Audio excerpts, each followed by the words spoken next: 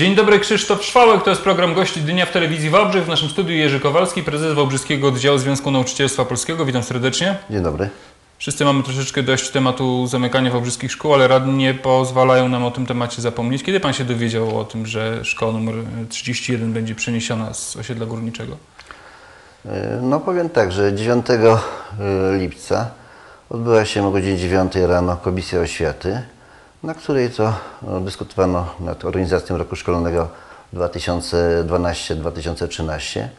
No i tam nie padło żadne słowo związane z likwidacją, znaczy nie likwidacją, ale przeniesieniem szkoły publicznej szkoły nr 31 yy, z Poniatowa, z Rusinowa, z Rusinowa, z Rusinowa yy, na ulicy 11 listopada.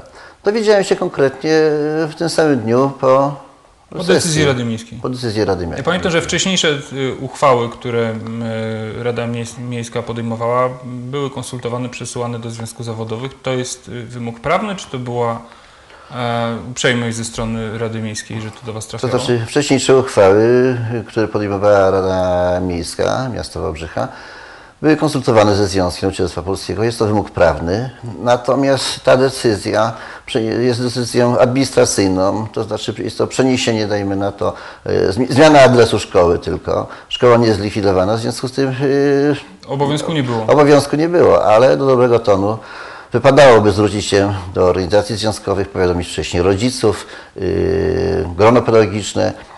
Pamiętamy sytuację, kiedy to wojewoda zakwestionował likwidację szkoły nr 31 i jeżeli Urząd Miasta chciał podjąć taką decyzję, wówczas yy, powinien, dajmy na to, porozmawiać z rodzicami czy z gronem pedagogicznym, radą pedagogiczną, że jednak chce podjąć yy, tą decyzję administracyjną, żeby nauczyciele nie byli zaskakiwani.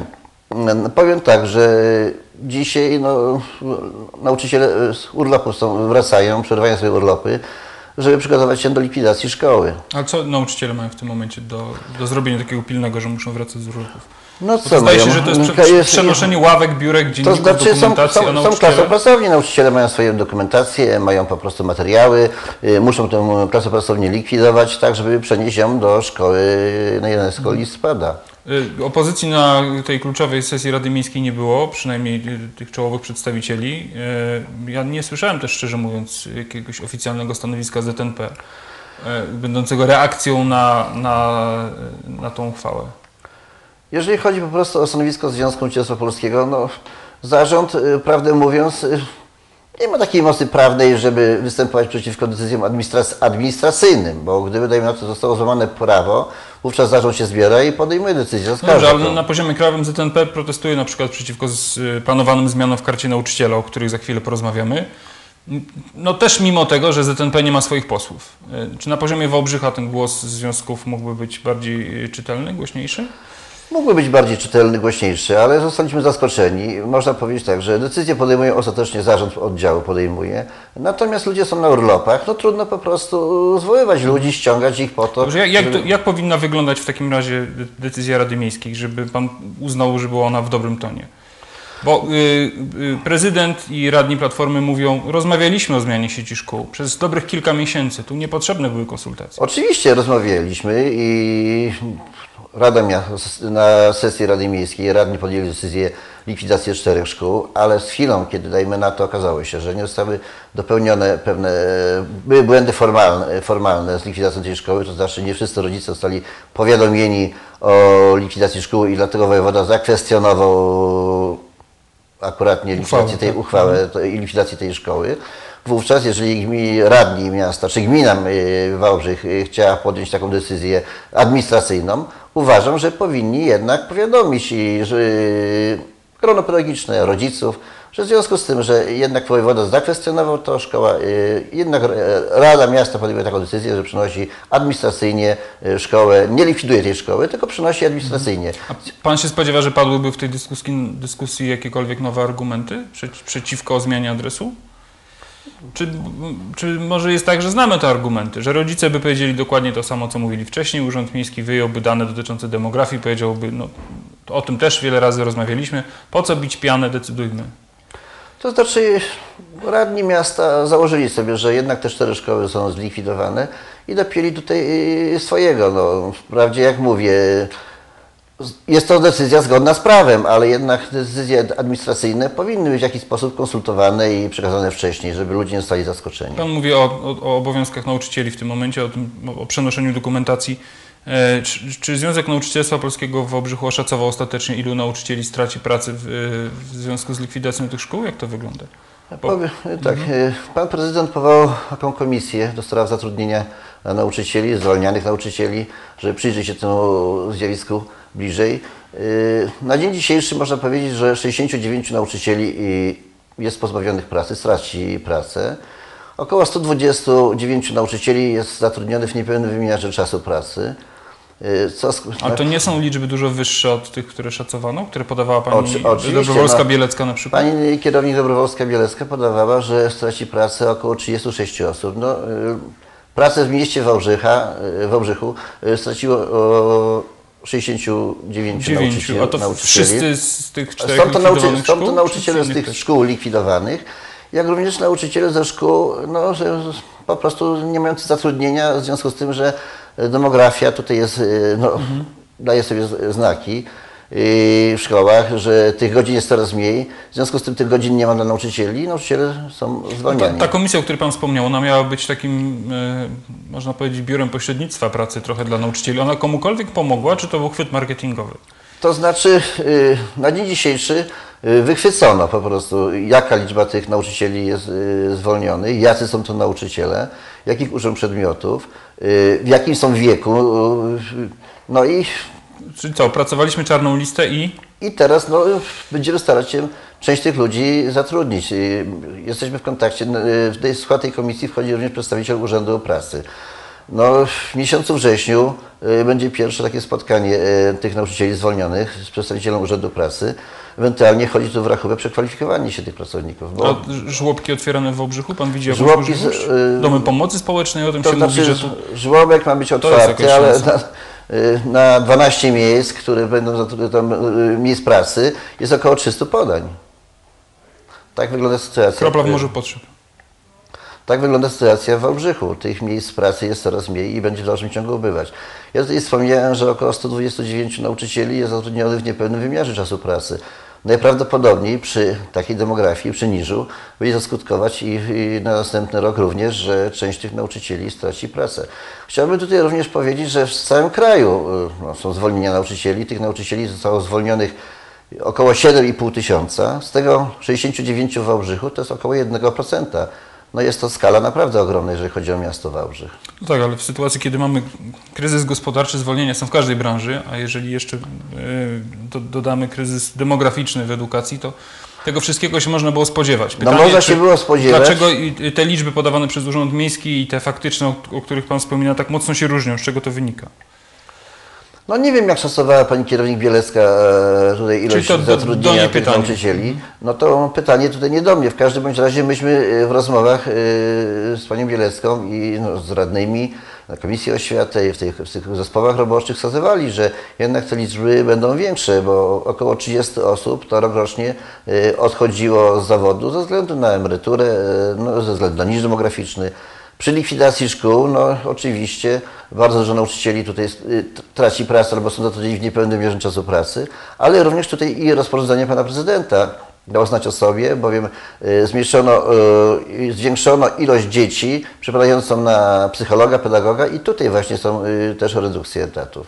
To o tym nie było głośno w Wałbrzychu. O tym w Wałbrzychu są- nie było, to było rozporządzenie pana prezydenta to odnośnie organizacji roku szkolnego 2012-2013, yy, gdzie zwiększono ilość dzieci przypadającą jednego pedagoga i Znacząco, jak wyglądają te liczby? No to tutaj kilkunastu ludzi po prostu uczących do, w tej chwili na przykład, znaczy by, którzy są zatrudnieni byli w szkołach zatrudnieni na pełnym etacie jako psycholog czy pedagog, yy, są zatrudnieni teraz na pół etatu. Czyli y, więcej uczniów na jednego psychologa i No, pedagoga tak, będzie tak, przypadało od września? Tak, tak, od września. No dobrze, to mamy już oszacowane skutki tych y, zmian w Wałbrzychu. Y, Szef klubu radnych Platformy powiedział, że w tym studiu, y, że nie przewiduje y, we wrześniu żadnych kolejnych rewolucji, no ale może się zdarzyć tak, że na szczeblu rządowym czy też parlamentarnym będą zmiany w karcie nauczyciela. Y, Karta nauczyciela i niektóre jej zapisy to są elementy, które bulwersują dużą część opinii y, publicznej, ale z drugiej strony e, te propozycje zmian są kontrowersyjne dla środowiska e, edukacyjnego. Czy pan e, widzi możliwość znaczących zmian w karcie nauczyciela, na przykład jeżeli chodzi o skrócenie wakacji dla nauczycieli? No jest Bo do to... tego dążą samorządy. To jest jeden z postulatów. Jest to bardzo kontrowersyjny po prostu postulat zgłoszony przez samorządowców. Na całym świecie Nauczyciele mają e, wakacje w okresie e, lipca, sierpnia. E, różnie to wygląda w różnych krajach, w zależności od położenia geograficznego. Niemniej jednak na dzień dzisiejszy samorządy nie określiły się dokładnie, jak zamierzają skrócić ten urlop nauczycielom, czy zatrudniać go na taki nauczyciela na, dajmy na to po prostu urlopu podczas wakacji w szkołach, czy na jakichś obozach, koloniach tak jak to planował wcześniej pan Roman Giertych, że jeden miesiąc zdajemy na to urlopu, a drugi miesiąc nauczyciel zatrudniony obowiązkowo albo szuka sobie pracy gdzieś na kolonii czy na obozie. Na razie trudno powiedzieć, jeżeli chodzi co tutaj samorządy myślą, jeżeli chodzi o skrócenie ten, yy, to, jest, to jest dla nauczycieli istotne, czym by się mieli zajmować? Czy ważniejsze jest to, że mają o tych 20 dni na przykład yy, wakacje krótsze? Trudno mi jest wypowiedzieć na ten temat, bo nie znam po prostu dokładnych po prostu propozycji, co nauczyciele mogliby robić w tym okresie czasu. No dobrze, a, a, jeżeli chodzi o to tygodniowy wymiar czasu pracy, tak? W tym momencie mamy 20 e, godzin, proszę mnie poprawić. 18 godzin. 18 godzin, ale dwie e, tak zwane karciane godziny jeszcze No do tak, tego. samorządy tutaj Więc... dążą do tego, żeby podnieść pensum do 22 godzin. Przy czym y, podniesienie pensum do 22 godzin spowoduje lawinę zwolnień nauczycieli. Przy tym niżu demograficznym w kraju, przy no, dużo liczebnych, liczebnych klasach, które tworzą po prostu klasy, są, są teraz w tej chwili liczebne w szkołach już, y, po zwiększenie pensum o 4 godziny doprowadzi do masowych zwolnień nauczycieli. Ile pan, ile pan zdaniem nauczyciel spędza czasu przy swoich obowiązkach? Nie mówię w szkole przy tablicy, weźmy też pod uwagę aktywność w domu. Prowadzone są badania w tej chwili. Do, badania się rozpoczęły w ubiegłym roku w listopadzie i będą prowadzone do października odnośnie czasu pracy nauczyciela i według tych ankieterów, którzy prowadzą te badania wynika, że nauczyciel pracuje więcej niż 40 godzin. To te badania się już zakończyły, czy to są nieoficjalne dane, te, które Pan to są, Te badania się jeszcze nie zakończyły, są prowadzone przez ankieterów, będą prowadzone do listopada e, tego roku. Czyli Pana zdaniem nie powinno być żadnych zmian w tej kwestii? Naszym zdaniem nie powinno, zdaniem związku i zdaniem nauczycieli pracujących w oświacie, e, nie powinno być tutaj żadnych zmian. Dobrze, to wróćmy na ostatnie pytanie, y, wróćmy jeszcze do tej kwestii Wałbrzyskich i do przeniesienia szkoły numer 31. Ona się znajdzie w jednym budynku z zespołem szkół numer 2.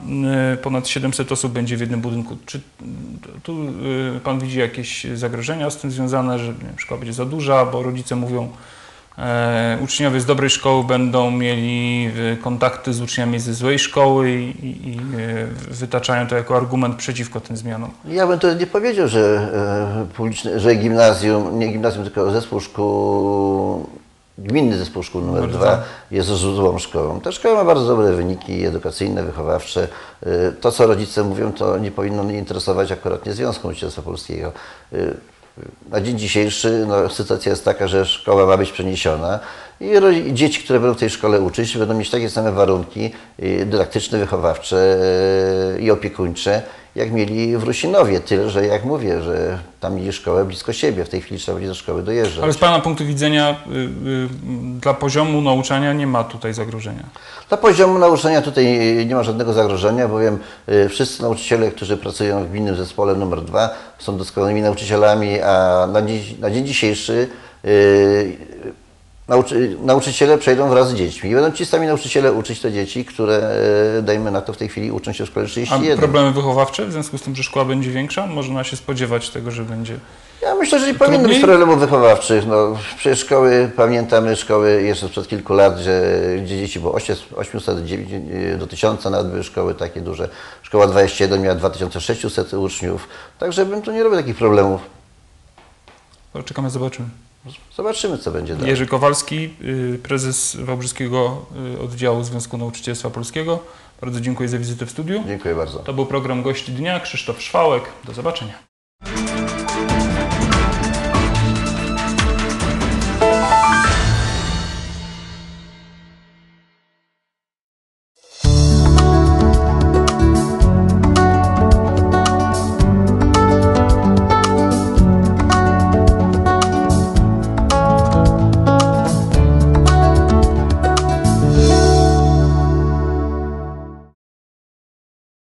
Nasze serwisy informacyjne i program Gość Dnia również w internecie www.tvwałbrzych.pl Więcej informacji znajdziesz też na portalu wałbrzych24.com.